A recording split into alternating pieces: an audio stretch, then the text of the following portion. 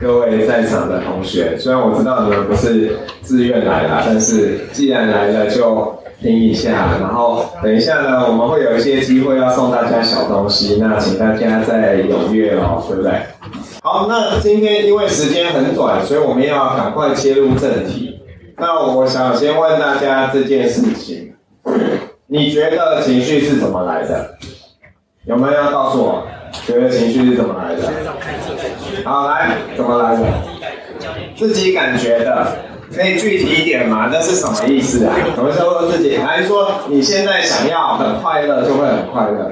好，那这位同学说呢，呃，如果遇到一件让自己觉得很好玩的事情，就会很快乐。好，那还有没有人有想法？来，很突然的东西。所以你觉得也是一个画面突然发生的，比方说你旁边的同学突然赏你一巴掌，你会怎么样？开心，很开心吗？还是打回去？还是说，如果这个你喜欢的女生突然赏你一巴掌，然后就觉得她认定你了，可以开始交往了，这样吗？并没有。好，来来来，各位各位。大家，大家不要太激动，好。那我想你心中可能有一些答案。那因为，呃，情绪这个东西呢，它其实时时都伴随在我们的周边。那看起来大家目前应该都没什么烦恼，哎，是因为刚考完试吗？还是也还没考试？啊？还没考试？要准备放春假，很开心。还是说礼拜五本来就是一个很嗨的时间点。好，那我们要带大家来想一些事情。好，大家有看新闻对不对？没啊？人真的有看吗？还是好了？我知道，不管你有没有看新闻，这件事情实在太难以、太难以忽略了。就是有好多人为了要免费吃回转寿司，然后把自己名字改成叫鲑鱼。来，我们做一个调查。在场的，因为你现在可能还没办法自己去改名，然后未成年。如果未来有一天，王品牛排说，只要你名字里面有牛排，我们就招待你一份王品牛排。那王品牛排可能没有这个吃到饱那么好啊，但是也是要一要一千五啊左右。来，你会改名的举手。你要改名吃牛排的举手。好，勇敢举起来，不要害怕。好，来，谢谢，谢谢这些这些同学。还是呃，我想大家可能觉得王品不是那么值得。还是我们来换一间，就是寿司郎。如果寿司郎改成名字叫鲑鱼，你你看新闻的时候，你有冲动想改的，可以举手吗？哎，感觉。那 大家也不喜欢寿司，也不喜欢牛排，是不是？那那我们我们来想一想这件事情。刚刚有同学说，我们今天之所以会有情绪，是因为有一个突发的事件，或者是什么事情发生在你身上。那我们来想一下这件事情。嗨，各位高生，高生，对，冷静，冷静。需要你们讨论讲话的时候再讲话，好不好？对，这样这样大家会听得比较轻松，然后想睡觉的同学会睡得比较安稳。对，我们一定要打扰他们。好，如果今天我们的情绪是外面事件引发的，那同样经历到这个新闻的时候，我们理论上应该要有同样的反应啊。可是我们看到社会上大概主流有两种反应，有一种反应人会觉得，对，这超棒的，我也要去改名。但是有一些人觉得，为什么这么短视尽力，为了吃东西就改掉自己的名字？那这个是大家需要去想的。比方说，为什么你今天考试考零分，有一个人很开心，应该不会有很开心啊。有人会非常难过，然后可能伤心很久，然后有人会可能难过五分钟就觉得没关系，下次再考好就好了。那为什么会这样？我们想一想这件事。所以，呃，会不会有一种可能性，就是说，我们今天感受到的各种情绪，不管是快乐、是难过、是生气、是悲伤，或者是非常雀跃，那这些东西，它会不会都是你自己去建造出来的？比如说，你今天在呃收集到这些外面的刺激的时候，然后你自己决定了一个。脚本帮你自己产生了一个情绪，而不是像大家想象的，是说今天这个东西来了，然后你就被动式的去引发了某一个情绪。因为如果今天情绪是引发的，那只要有同样的东西发生在你身上，你的感受应该会一样。那我们可以发现这件事情可能不太精准，即便。是你跟你的好朋友吵架，每次吵架之后，你们的心情可能都会不太一样。所以我们在很多时候，过去我们会觉得情绪是被引发出来的这件事情，它其实需要呃多想想，情绪可能不是引发出来的，情绪是你决定要怎么样。所以刚刚第一个同学说啊，是你想出来，我就很好奇，诶，他为什么会这样想？那各位也可以练习看看，就是当一件不好的事情发生在你身上的时候，你可以尝试问问你自己：那这样的时候我到底该怎么样？为什么我们在很多时候，比方说你今天呃参加一个比赛输掉的时候，你会觉得很难过？那这个很难过，可能是你从小到大被呃看到很多别人的经验，或者是你被灌输了这样的一个想法，以至于你产生这样的念头：只要比赛输了，你就会很难过。但是想象这个情形，如果你每次你你如果是呃从小开始学，比方说学一个呃什么运动好呢？你在学，想想看哦。有什么东西常常有比赛啊？你你如果是一个游泳选手好了，然后如果你爸逼你去游泳，然后呢，每一次你比赛输了，你爸爸就给你一千块。好，假设是这样的情形，那这样子你未来比赛的时候你会怎么做？你会故意输掉吗？应该不至于嘛，因为有时候奖金可能更多。但是对你来说，比赛输掉这件事情，它可能就不是一个单纯的负面的经验，因为这件事情被赋予了一个比较正面的意义。那也就是说，我们在很多时候是可以帮自己去建筑这些意义的。当你遇到一件不好的事情，你可以问你自己：哦，所以这个真的是不好吗？还是说我可以换一个角度来去思考，那这件事情可能就没有如你想的是那么糟糕的。那如果你是这样子去思考的时候，你可能会有两个问题。第一个问题就是，如果情绪不是被引发的，情绪是我自己产生的，那这样的话，大家是不是都会产生不一样的情绪？是吧？那这个，嗯。感觉很奇怪，但是其实每一个人的情绪都不一样。比方说，你们班上可能做一件事情，让你们老师非常生气，然后老师就开始呃，可能惩罚你们。那有的同学面对这样的惩罚，可能是觉得啊，就是这样啊。那有的可能觉得很倒霉，然后有的可能觉得很生气。那每一个人他的反应都不一样，这其实也也反映了背后的过程，就是。我们真的在不同的时候，我们会建构出不一样的情绪。那你跟你有一些很要好的朋友，为什么你们会很要好？很多时候，那个原因是因为你们的呃生活形态很接近，然后你们可能特别是在你们建构情绪的方法上，也会蛮接近的，所以你们很能够有一个呃共同的感受。你可以去同理他，他也可以去同理你的状况，所以你们会是好朋友。那这个大家要记得这件事情，就是说，因为每一个人在面对同一个事件的时候，他的感受会是不一样的，所以当你的朋友跟你说我心情很差的时候，那你不要先骂他嘛，就说哎怎么可能心情差？他可能心情就很差。那我想大家周边可能都有一些人是比较容易不开心的人，那他可能有一些是先天上的呃因素造成的，有一些可能是因为他长时间处在一种高压力的状态，导致于他自己在情绪处理上面比较没有办法呃这么快的从不好的情绪跳出来。那你要。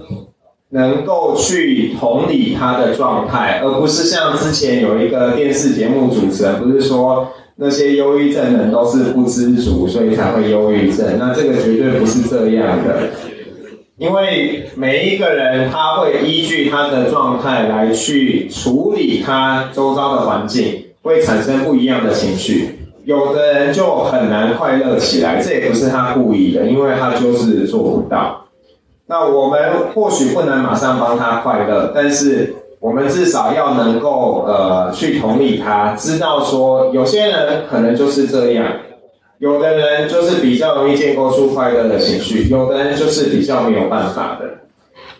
好，那第二个大家可能会有的疑惑是，呃，老师如果情绪今天是呃我们要建构出来的，那会不会花很多时间？会不会来不及？那呃，大家可能太小看你的大脑，你大脑在处理讯息的时候，其实非常快速的。而且虽然说我们在讲这个情绪可能是你自己建造出来的，但是当你建造的经验多了之后，你也会产生一些新的脚本。比方说，只要看到妈妈脸色一变，然后她开始怎么样的时候，你就会产生一个脚本，帮助你去面对那样子的状态。所以，呃，这两个问题我们给了大家答案。那我们再来看下一件事情。好，那为什么为什么每一个人快乐的事情不一样？比方说，有的同学的快乐可能是你在玩线上游戏，然后你的排名创新高，或者是你那天买到一个极限量稀少的宝物，然后你就非常开心。好，那如果你是不玩游戏的，像我不玩游戏，我就觉得啊，这排名有什么了不起的？你现在全世界第五名，然后呢，可以怎么样？那我可能会有别的快乐。那为什么？为什么对每个人来说，他的快乐是不一样的？因为如果今天情绪本身它是一个固定的东西，那对每一个人来说，情绪应该要是一样的啊。但是我们却发现每一个人的快乐不大一样。那有没有人要跟我们分享让他快乐的事情？你呃，对，如果你的快乐的事情很特别的话，那我还蛮鼓励你分享的。但是不要故意讲一个根本就是假的事情。还有没有要跟大家分享让你快乐的事情？还是这样太害羞了？那我们来分享一个让人生气的事情好了。来，有没有什么事情让人生气的？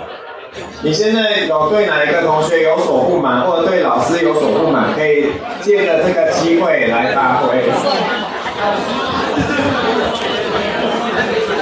我没有看到人举手，有谁要跟我们分享一下他生气的原因？什么事情会让你生气？好。先举手，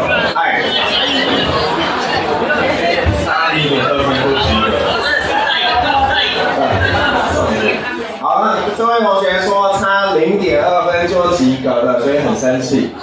好啦，不要生气嘛，因为那个分数不是都会四舍五入嘛，差零点二分可能就及格了。好，那我们我们来想一想这件事情，就是说，呃。很有可能情绪其实没有一个固定的脚本，所以我们很难从什么方式来去判断一个人是不是真的真的快乐的。所以很多人在讲什么，呃，有一些简单的情绪，比方说现在人工智慧越来越发达嘛，各位可能都玩过一些东西呀，它会让你照一下脸，然后就跟你说你现在多开心等等的。然后我心里的疑问就是，如果是你自己的话，你为什么要透过一个摄影机告诉你你现在开心吗？你应该心里头会很清楚嘛。当然，如果这是一个旁边的人，那或许有一点点的帮助。但是，因为我们人的情绪其实太复杂了，现在即便在科学上面，我们很难找到一个很精准的指标。只要你今天符合了这些条件，我就可以说你现在很快乐；或者是你今天符合这些条件，我就说你很忧郁。那你大家可能我不知道熟不熟悉，我们怎么判断一个人忧不忧郁？这其实是有一点复杂的过程，因为呃，不管是忧郁症也好，或者是失觉失调症或焦虑也好，这些疾病的定义都是人去设立一些标准来定义出来的。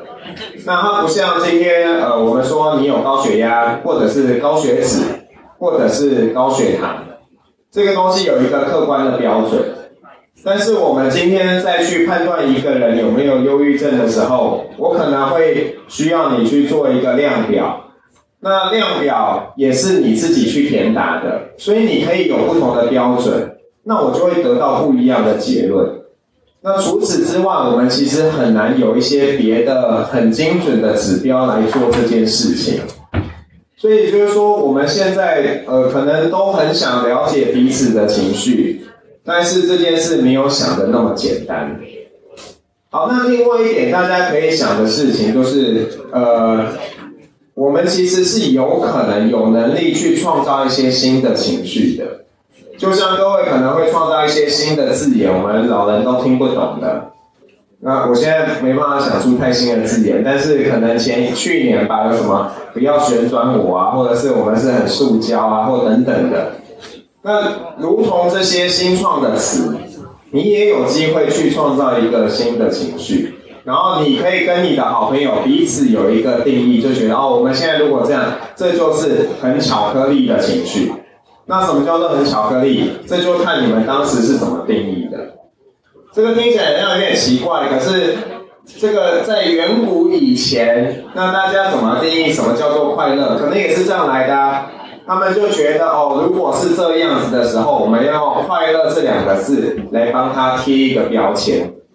那结果就传承到现在。所以现在各位的一些流行语等等的，包括可能今天。我们就产生了一个三明高中专有的情绪词，那你们以后就可以说啊，这个好三明哦，然后大家就知道哦，这个好三明的意思其实是什么，对不对？这一个就是只要这边，你看今天我们这里已经有可能有一百多个人用这样的字，然后等一下又有一百多个人，那我们两百多个人如果都有一个共识，说什么叫做好三明？那在网络上扩散，然后就开始每天贴 IG 的说，我今天真的好三明哦，然后那大家就会开始好奇，然后或者新闻就会开始流传说，哎，现在呃我们在泸州区发现了一个新的名词，叫做好三明。那我们来问一问三明高中的同学，这个对这件事有什么看法？那这个东西就会被传出去了，然后它有可能，如果它持续够久，它就会变成一个新的情绪。好，那。来，我们再来考考大家。这个我觉得很难答对，但是如果有人都答对的话，我们送一个我觉得比较好的东西。好，来这边有六个网球选手，这六个网球选手当中呢，哎，不要急，不要急，有三个人赢球。三个人赢球，好，那那我们现在我们现在这样玩好不好？我们请大家都先举起你的右手。如果你想要玩这个游戏的话，请你举你的右手。那如果你答对的话，你就继续举着；答错，你手就要放下，OK？手放下之后就不能再举起来了哦。好，那你要玩这个游戏的同学，现在把你右手举起来。右手举起来啊！那个睡觉的同学把它推一推，举起来。如果你需要借他的名额的时候，请把他手举起来。那如果你不慎拿错了，就让他的手继续举着。来，我们现在一题一题来判断喽。你觉得等一下，哎，这样好难玩哦。好，咱们先举右，先举右手，来，举右手。好，那你觉得一号赢球的可不可以呃用布？如果你觉得他输球的，就是用拳头。你觉得他赢球的用户？如果你觉得他输球了的，就举拳头。好，那那个用户的同学手可以放下了。那个举拳头继续举着，拳头继续举着。好，来，请问，哎，大家要彼此监督哦，不要看到有人作弊。好，来，现在，请问二号选手赢球吗？如果你觉得二号选手赢球的，请帮我举步；如果你觉得他输球的，请用拳头。好，二号选手是赢球的，所以如果你现在举步的人手继续举着。如果你已经已经手放下了，就不能再举起来了。好，来，请问三号选手赢球还是输球？赢球的话继续打开布。如果你觉得三号输的话，请举拳头。输球，再输球，再输球。好，三号也是赢的，所以那个。哎，我们现在剩几个人？一二三四五六七八九十十一十二十三十四十五十六。好，来，好，我们要继续下一个了。请问四号，四号赢球的，打开来，手举步。四号输球的，请举拳头。来，好，四号是输球的。好啦，那现在很紧张嘞，我们可以请现在幸存的同学来前面吗？来，来幸存的同学来前面。我们给大家五秒钟出来了，超过五秒就放弃机会了。五、四、三、二、一。好，我们有了一个冠军了，冠军。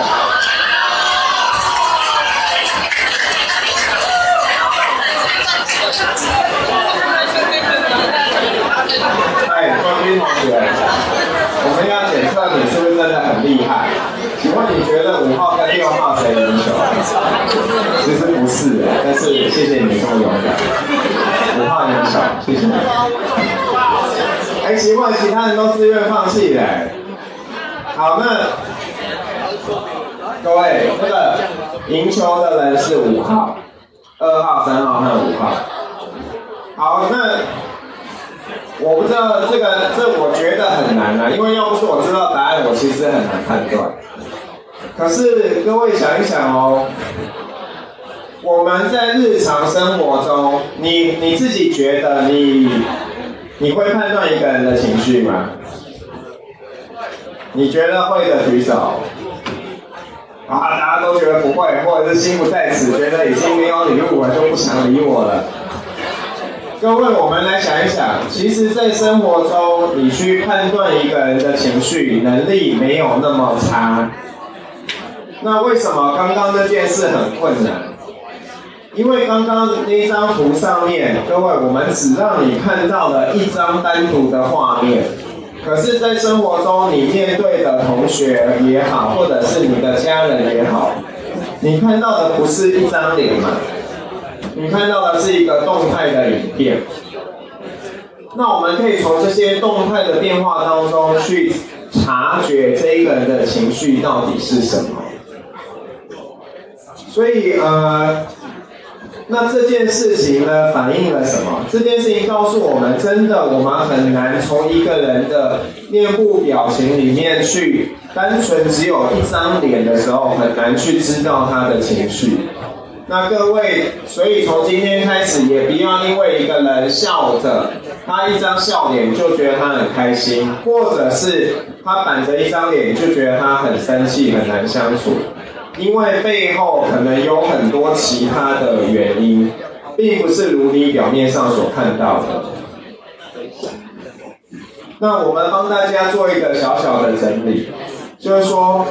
情绪呢，它可能不是被引发的，是我们自己建立出来的。第二件事情，每一个人的情绪都是特别、是独特的，没有一个固定的脚本。那第三件事情呢，就是我们其实要花一点力气才能够去理解别人的情绪，这件事没有那么简单。所以你今天，如果你真的很希望可以陪伴某个同学的时候，那请你要花一点心思，你可能要多去了解这个人平常是什么样的一个人，你才有机会去做这件事情嘛。那我知道过去呃那个来念来申请念心理系的同学，很多人都会说什么，同学常常会跟我聊心事啊，或者是我很会察觉别人怎么样，那我心里都很想当场问他，那你觉得我现在在想什么？就是呃，这个很多的东西，如果你只是很表面的去谈的时候，我们会觉得有点奇怪。那如果你可以更广的跟我说，我觉得其实我能够知道的是，我知道每个人的经验都不一样。那所以我在跟别人互动的时候呢，我也会特别去察觉这一点。那我就会觉得，哦，你比别人多说一些，你其实可能真的有了解到底人的情绪是怎么来的，不是只是说你真的很善解人意，这个词太空泛了。那我想对各位来说，可能有一件事情，不过今天大家看起来心情都很好，然后，但是我们还是要带大家去想一想，如果今天我们真的遇到一些负面的情绪的事件的时候，我们要怎么样去面对？那在讲方法之前呢，我其实要给大家这一个提醒，因为上面一个段落我们有提到，其实情绪怎么来或者是怎么样子，你扮演很重要的角色。所以在面对要怎么样面对情绪的时候，你要知道你自己是有责任的，不是说今天你就是被引发的这个情绪，所以我无能为力，所以我不能怎么样。很多时候你是有那个能力可以去决定他要变什么情绪，但为什么不行？因为有些人可能状况已经很差了，你身体没有什么能量的时候，你很容易被这个外面的事件决定你现在的状态。所以如果你已经处在那样状态的时候，我要强烈建议你真的要去寻求专业的帮忙。那如果你还没有进到那个状态，那我给你的建议就是，不要随便就踏进一个位置，说哦，我现在就是很难过，现在就是很泄气，因为你有很大一个，你有很多能力可以去决定这个情绪会是什么。那我们来讲三个方法，那这三个方法呢，其实跟情绪产生的过程是有关系的。那第一件事情就是，如果今天你知道做了某一件事情会让你有负面情绪，那你可以想办法不要去做这件事。比方说，如果你跟一个人刚刚分手了，然后你知道你只要看到这个人，你就会想起他，然后就会很难过。那我们可能就可以用 D 来代表，就是我们用分心的方式。就不要去想他，我们去做别的事情。那这件事情呢是会有帮助的。过去在心理学上，我们会有一些研究会告诉你说，这个呃不是所有时候我们都要很勇敢的去面对情绪，因为当这个事件强度很强的时候，你硬跟他硬碰硬，其实不会有好的结果。那反而说你就就是选择先不处理它，可能是好的。所以下次你要陪伴你周边的朋友，你看到他非常难过的时候，你不一定要跟他说，呃，哎呀，你看开一点嘛，这事情没有什么了不起的嘛。那我们可能可以做的就是，哎，你就在那边陪伴他，你甚至可以跟他说，那我们要不要去做一些别的事情？你带他去做分心。让他不要把他的思绪都放在那个负面情绪上，对他可能是有帮助的。好，那第二件事情呢，叫做 R，R 是一个英文单词 reappraisal，重新评估这个单词的缩写。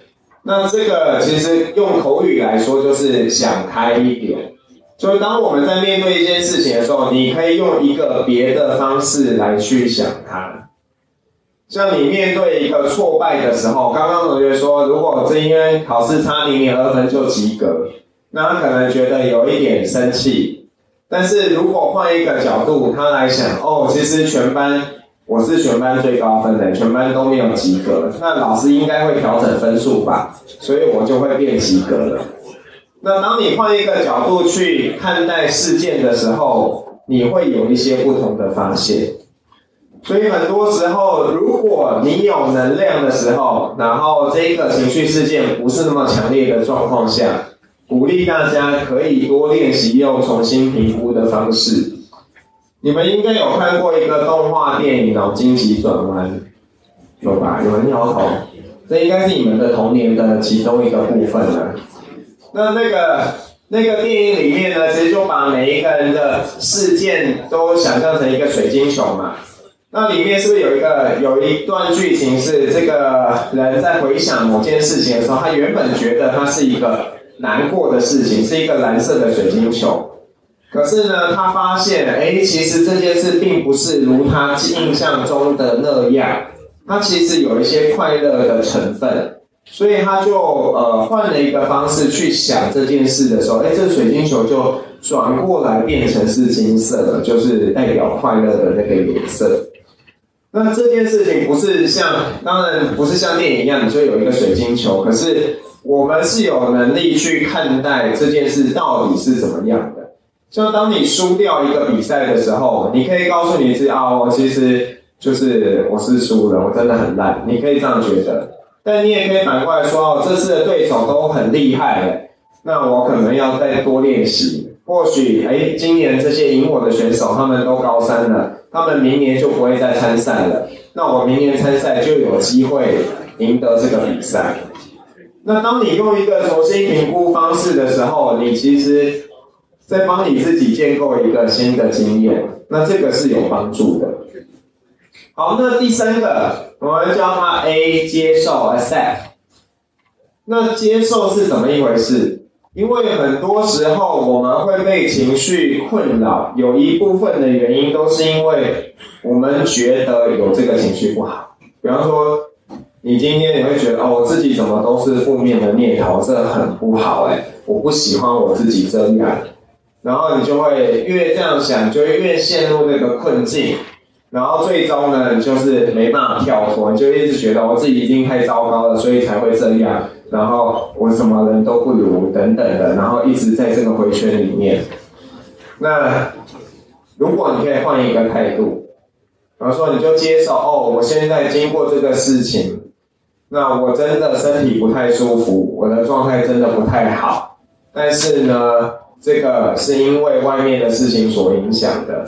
那我现在可能也没办法处理它，但是我接受我自己有这样的一个身体上的反应。或者是有这样的心理上的一个变化，那我接受这样的状态。那当你接受这样状态的时候，你没有去批评这样状态的时候，你其实不会对于自己的那一个现处所处的那个呃情境有太多负面的感受。那这样对于你负面情绪的产生也会有改善的一个功用。好，那我们来想一想。那个感觉大家应该都很淳朴，还没有交男女朋友，应该吧？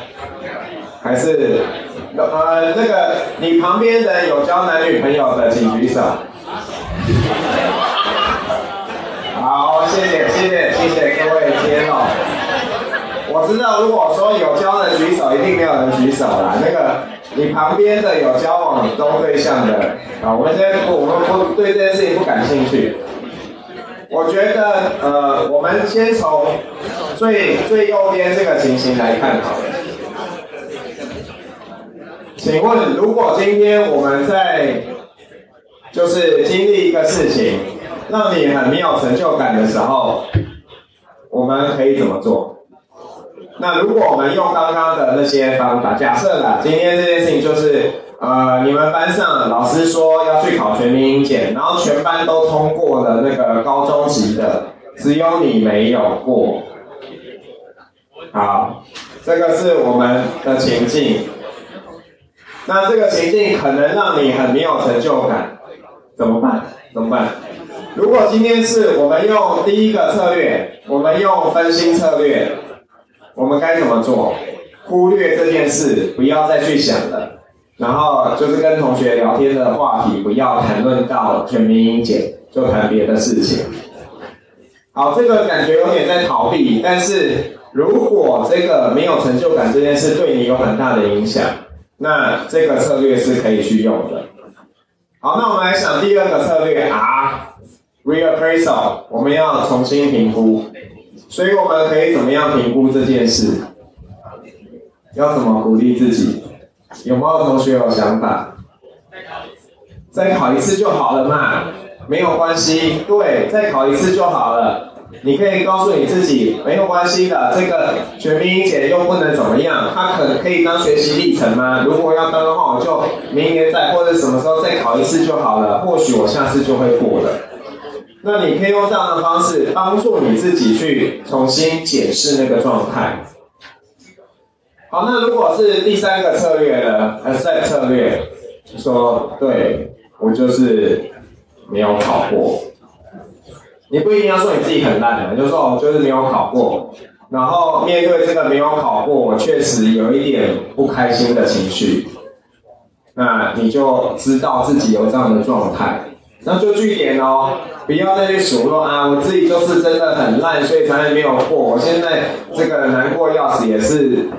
应该的，因为之前我都不复习等等的，所以我才会落到这样的一个境界。那不要帮自己加油添醋，有那么多的东西覆盖在这上头。那我们来看第二个，这个可能比较严肃，就说好，那如果今天呃被霸凌了怎么办？被霸凌很难很难不处理嘛。比方说你今天。这个霸凌的对象可能是你们班上很调皮的同学，然后他可能让你出糗了。然后吸番茄酱。啊，吸番茄酱太恶心了吧？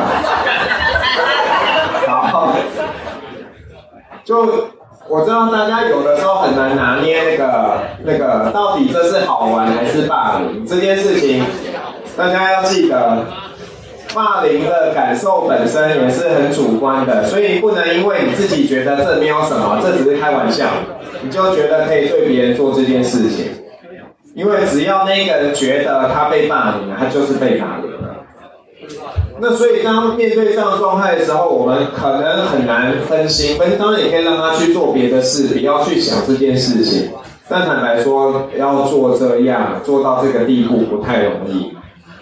好，那我们怎么样去重新评估这件事？如果这个同学呃并不是那么有恶意，只是你可能比较敏感一点，就觉得你被欺负了，那你或许可以转转换一个心态，说啊这个其实只是同学只是在跟你玩呐，没有什么样子。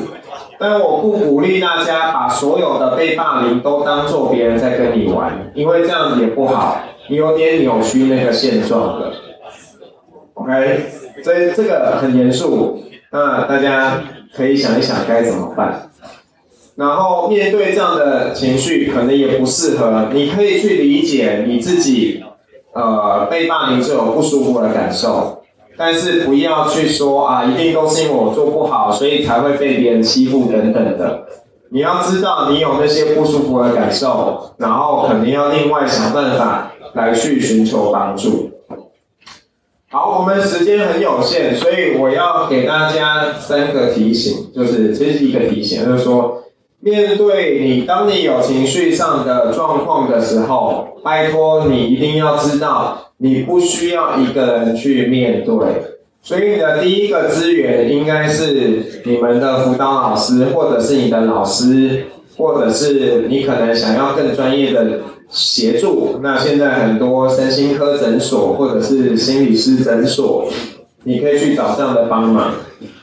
那第二件事情呢，就是鼓励大家要有好的朋友，因为很多时候你们经历的事情，跟你同才的同学是最能感同身受的，所以有人可以跟你谈一谈，很多时候把这事情谈完，那情绪可能也就没有那么严重了。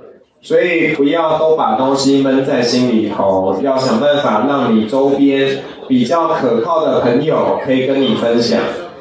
那第三件事情呢？